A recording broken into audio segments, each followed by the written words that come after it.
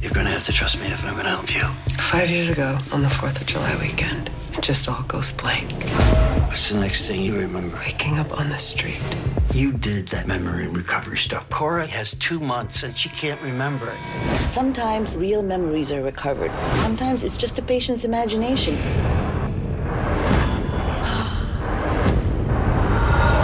Why can't I remember? The Sinner limited series next Wednesday at 10 on USA.